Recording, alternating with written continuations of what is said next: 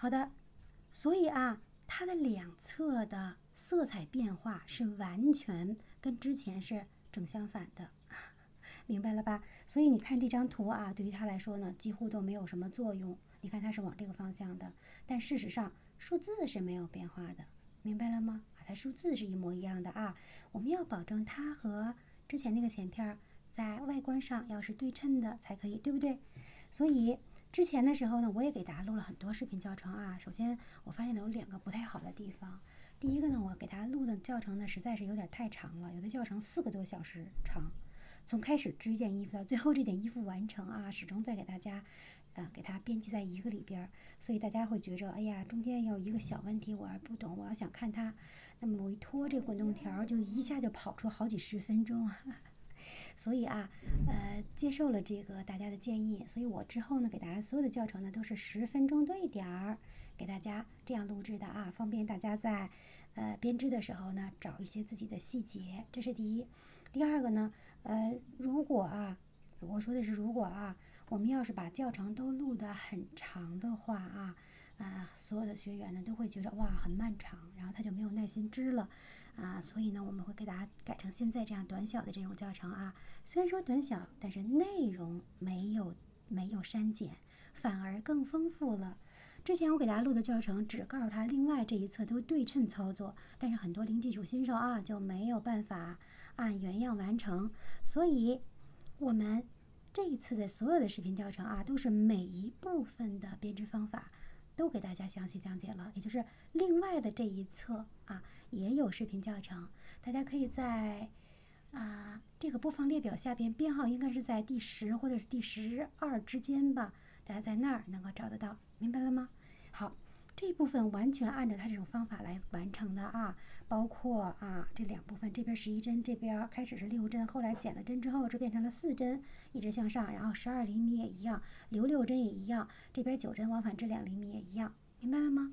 好，都完成之后，就来到了下一个环节啊，下一个环节可以说是非常非常的有意思的一块儿，因为这件衣服之所以。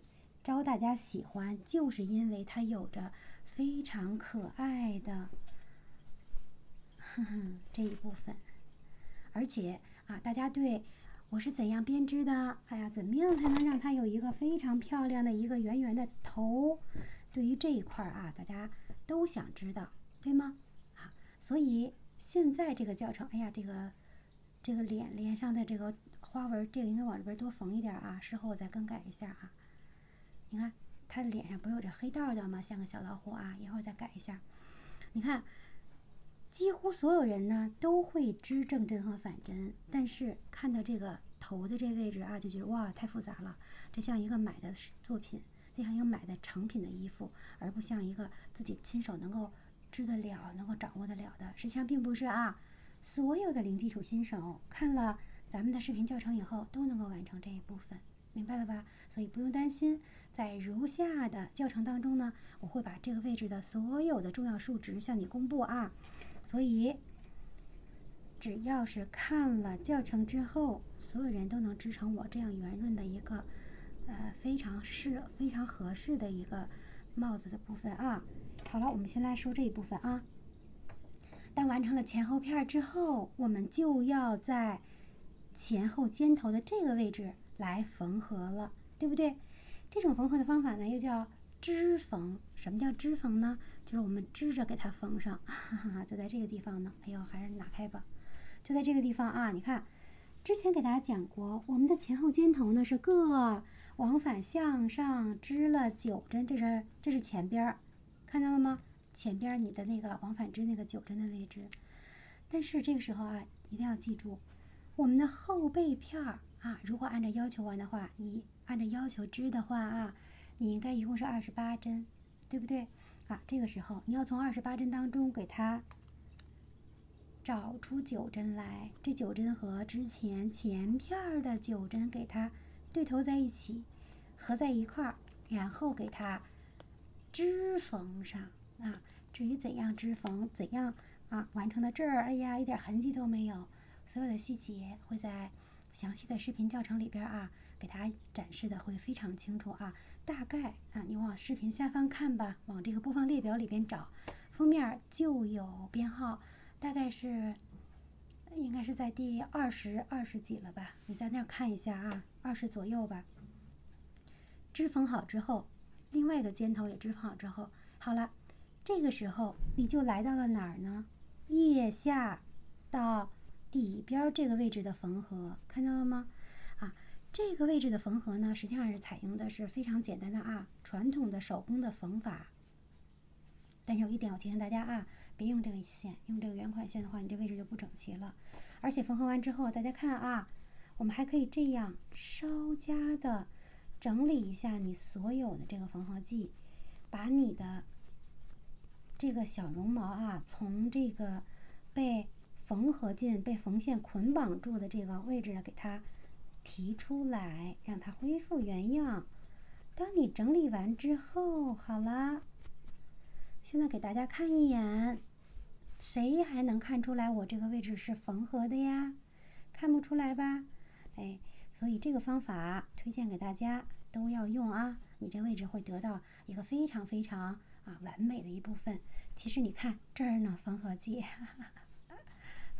好了，当你的两个肋部啊都与前后片儿啊都在前后片儿这个位置啊做了缝合，这么好了，你就成形成一件简单的一个背心了啊！没有帽子的背心，也没有袖子，对不对？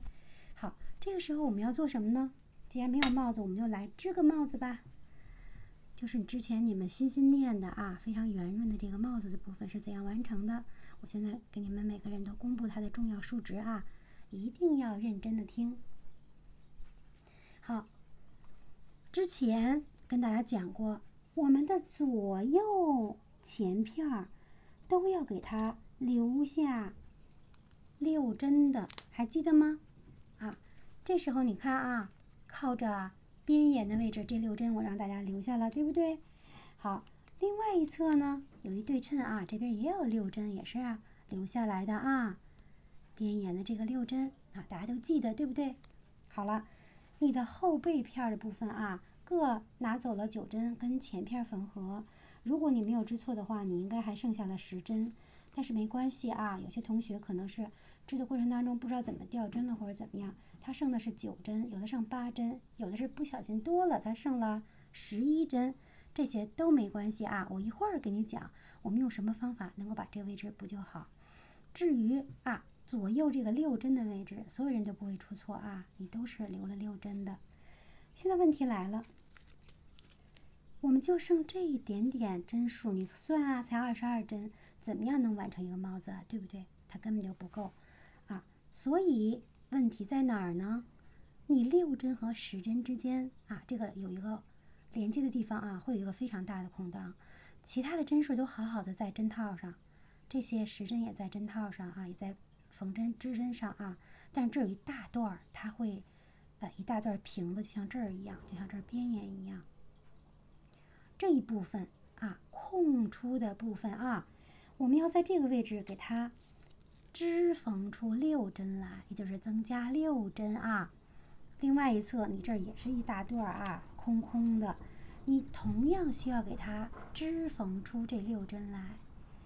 至于怎样织缝毫无痕迹的就形成了这么好看的效果，你看啊，这位置就是我们织挑出来的啊，不是织缝啊，sorry，织挑。这位置啊，就是我们织挑出来，大家能看到痕迹吗？看不到是吧？啊到时候你也能织的这么好啊！你看，我们现在在空档位置各给它增加了六针，但是还没完。这个时候啊，我们在原有留六针的这一位置啊，你要给它在这个六针里边再给它增加两针，看到了吗？啊，另外一侧的六针也如是啊，在六针的基础上再给它增加两针，给它变成八针，这边也是变成了八针的啊，看到了吗？然后，还有，我们要在整个帽子的起始的地方，什么叫起始？假设一百针，那么第一针的旁边这个位置啊，我们要给它平加两针。平加的方法跟你之前啊起针起针是一样的啊。你看，起始位置啊，平加的两针。为了对称，另外一侧起始位置就是六针旁边那儿啊，也要给它增加平加两针。